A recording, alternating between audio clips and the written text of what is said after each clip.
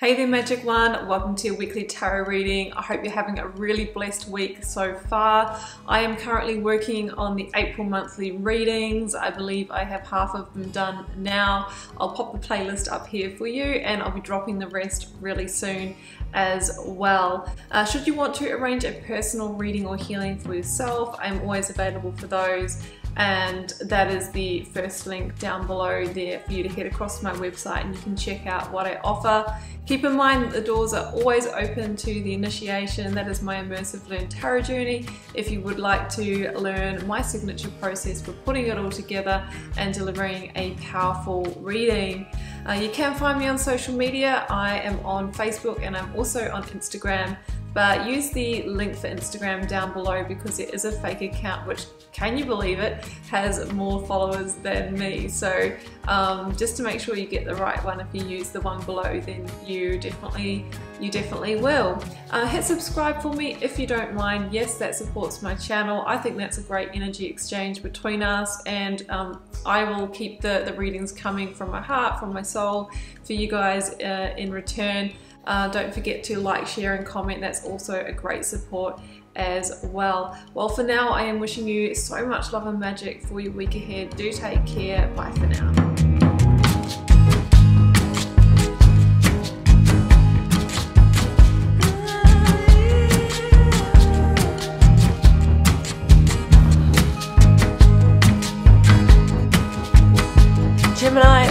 To your tarot reading for April 11th to the 17th. Let's see what may be on the cards for you. Gemini, I have got the nine card block here. I've got three for your recent past, three for your focused energy, three for your near future outcome. I have a selection of oracles, a lead tarot energy, and I've turned over the bottom of the deck for you. Um, this week, Gemini, I'm working with the Sacred Creator Oracle, the Moonology Oracle, Moonchild, and Starchild Tarots by Danielle Noel, and the Radiant Rider Waite. Now, in this um, cycle, we are building to the full moon in Libra on the 17th. So, the, the full moon is associated with things coming to a head, coming to a climax. And you know, you can see here you have the tower, you've got the three of swords. It feels like you may be feeling into that um, quite powerfully and strongly, Gemini. So, um, you know, Libra is all associated with um, balance, truth, it is the the justice energy so it might be that you are getting justice on something that you are making some kind of big decision to move towards your truth so let's jump in and see how this comes out. We'll start with the oracles, Gemini. The first one was ambush fear with your ferocious dream. Now, we've actually got a lot of energy of change in this reading, and it feels to me, Gemini, that you are wanting to move in a new direction. There could be a new partnership, a new commitment, um, a, a relocation or a move or something like that on the cards for you. And it's really saying you're going to need to ambush your own fear, right? The devil is here, and the devil is associated with our uh, limitations, you know, perceived limitations in our environment or within ourselves that can stop us from taking, you know, bold action or bold moves. So you're really going to need to keep focused, Gemini, on the dream, on, um, you know, the outcome, on what you're really trying to create here. Because keep in mind, if you don't take action, you know, things will remain the same and there could be lost opportunities here. Instead, the cards are saying one step ahead is all you need. You know, when you put that first, um, you know, take that first step or um, first action or push over that first domino, it's amazing how that ripple effect just, you know, uh, brings change and uh, accelerates the change. It's like a snowball. I'm seeing a snowball. It's like a snowball action. So it's time to fall the first domino this week. It says bring love into the situation, and that is being mindful of others that you might be dealing with, um, having compassion and empathy, and doing things lovingly, whether it is for yourself or for others. Now, three of swords is your is your lead tarot energy here. It really feels to me that you are needing to sever ties with maybe um, maybe a partner, maybe an organization. This is a general reading, guys. I'll read the cards. You'll need to uh, align it to your life area. But it really feels like there is a severing of ties that is needing to happen in order for you to embrace whatever this Ace of Pentacles is for you, Gemini. So you know that is often the way as adults we we, we more likely stay in situations until um, something better comes along or until we really can't stand it anymore. It, we would have to be very self-actualized to go okay this is not fitting. I'm going to end this. I'm going to tie it up in a bow and create the space for the new to come in. We usually just don't do that. And i feel like this is a situation where you have overstayed in in a, in a relationship or in a job. And there has been an opportunity or there will be an opportunity coming in for you, Gemini, but you're going to need to sever ties and go through the Three of Swords first, which is generally a heartbreak energy. It is an energy of sadness and it is an energy of, of ending. But it's also a three, and you have the Three of Wands at the bottom of the deck, meaning that there is this potential to recreate or rebirth out of that ending. So I'm feeling sliding doors. One door closes, a new one opens because it feels to me that you've actually been seeking for a while, Gemini, while you've been in this situation, okay? You haven't ended it yet, but you have been opening the gate, opening the door, or at least trying to manifest the new. And the universe has heard your wishes. The universe has heard your wishes and is bringing in the choice or the decision that I feel is the catalyst for you for bringing down this tower. It's like, you know, are you ready? Well, show me. So let's jump into the tarot. We've got the Devil, Temperance, and the Tower. Now, this is the recent past position. It may still be unfolding. Timing is fluid in this reading. We've got um, Capricorn and Sagittarian energy here. We've got Gemini, your energy with the lovers, and we've got Leo with the strength card. Okay, it really feels that in order for you to embrace the Ace of Pentacles that's coming, there is going to be a tower moment for you. Now, the tower, the towers in our lives are the big structures, okay? They can be our relationships, they can be our workplace, it can be our physical home. It feels like there is something that you've either outgrown or, you know, um, you've either outgrown it or it's not meant for you anymore. That needs to be cleared in order for you to step onto a new path. But what I'm seeing and feeling here is that there's great comfort in that for you, Gemini and that is a big reason why why we stay in situations but with the devil here you know you can see the lovers chained to the devil it's like by doing that by staying in the comfort sometimes we create a sense of entrapment where we miss opportunities where we don't get the growth um, that we maybe you know keep ourselves smaller than what we we really are so i feel that the devil is this temptation to stay where we are, to not accept new growth. Um, but if you're honest with yourself, it feels like you know where you are now is built on a on a shaky foundation, Gemini, and it's only going to be a matter of time before it does it does come down. So temperance here is really saying, you know, it's time for you to bring yourself into balance here and you know, think about being guided forward to the new path. It feels like you might already be getting the signs and the synchronicities and the, the guidance. Sometimes temperance can be, excuse me, you know, past loved ones, you know, from the other side even guiding you. It is a guardian angel energy. And it feels like the new path is really calling for you. The question is, are you ready to walk it? And, you know, temperance talks about the right conditions and the right ingredients coming together. So even though it might feel like you've got a lot to go through here, Gemini, um, the universe is saying it's actually there's per, there's it's perfectly imperfectly perfect. Okay, that's what I'm seeing here.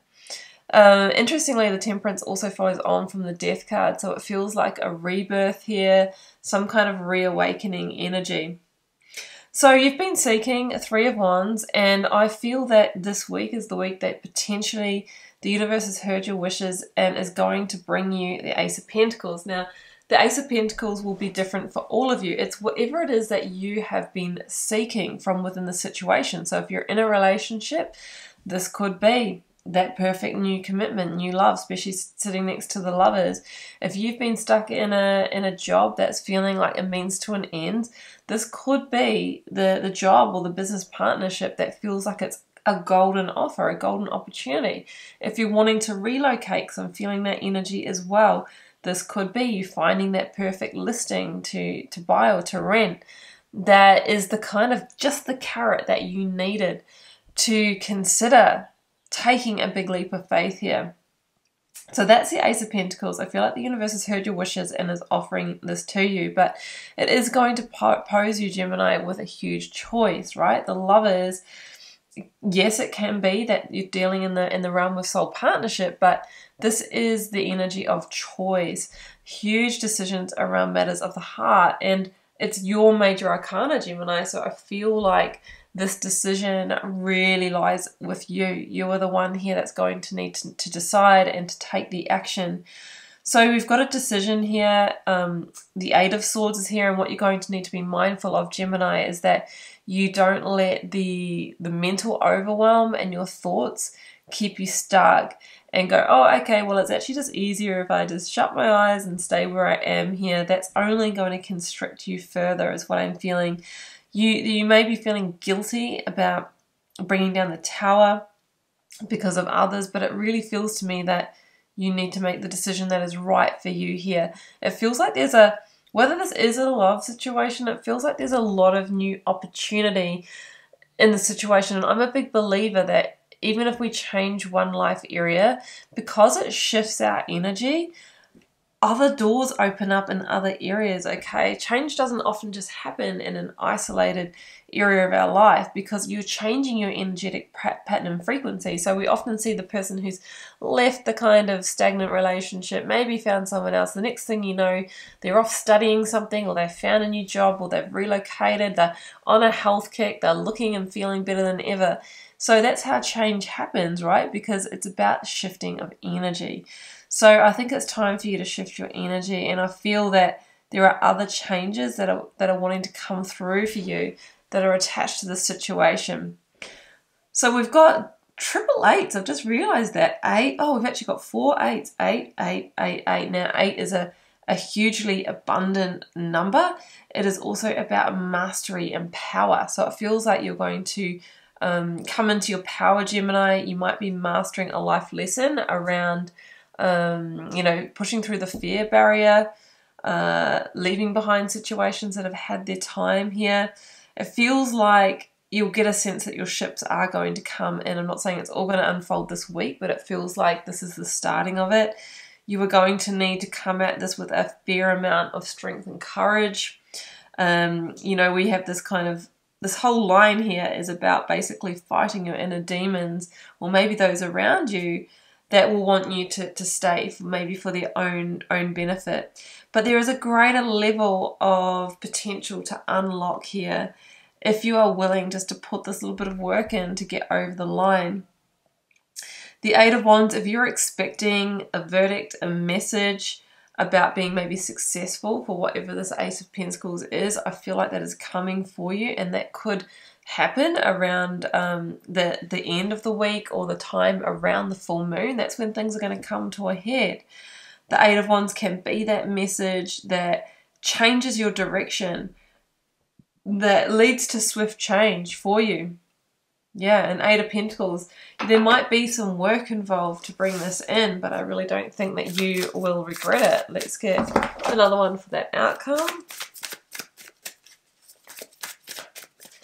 We have got the Three of Swords. Yeah, of course. Like, there's going to, the, the, the work or the hard work feeling is associated with what you're going to need to.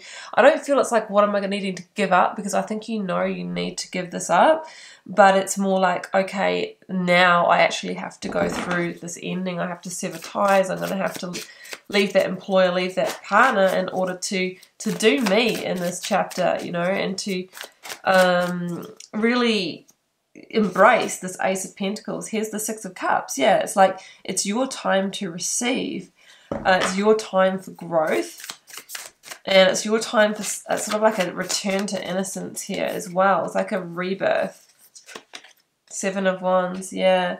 It's like you're realigning, realigning to your truth, realigning to purpose, and there goes the justice energy. So it feels to me that April 17th, around the time of the full moon in Libra is where things are going to come to a head and you're going to be posed with a decision and this decision will bring things into balance for you will bring you the new or of course because you have free will gemini you can choose to stay where you are and i'm not saying that's going to be bad in any way it just means that you will potentially miss this opportunity or that you will continue to get more of the same and stay in that tower that's already kind of shaking and it's only really a matter of time before it comes down. So it feels like there is a, a karmic balancing here waiting to happen.